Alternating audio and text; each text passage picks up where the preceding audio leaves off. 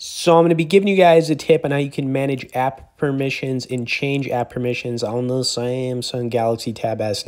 Now this is actually pretty useful because if you're having issues with an app doing something, this is how you can switch it up. So what you want to do here is just go in your settings and then you want to click on apps. Now for this, this example, I'm going to actually do, uh, let's do Google Maps.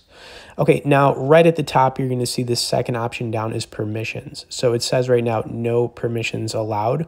But when we tap on this, you're going to see that right below Google Maps, you've got the camera, contacts, location, microphone, etc. Now, for example, if I wanted to click on location, you're going to see that you've got it set to don't allow, which is, this is what it's going to be automatically set, set to any of these apps. But you do ask every time, allow only while using the app, and then you could use allow all the time. Now, if there are specific apps where you want them to just always be allowed without getting, you know, notifications or them maybe not working correctly, this is basically where you could switch things up. So anyways, just a little tip here for you guys for the Galaxy Tab S9. Hope you enjoyed it. I also like to point out you can get on our Tech newsletter where we send out one email a week on only the good stuff directly below in the description. As always, thanks for watching this, guys, and we will see y'all in the next video.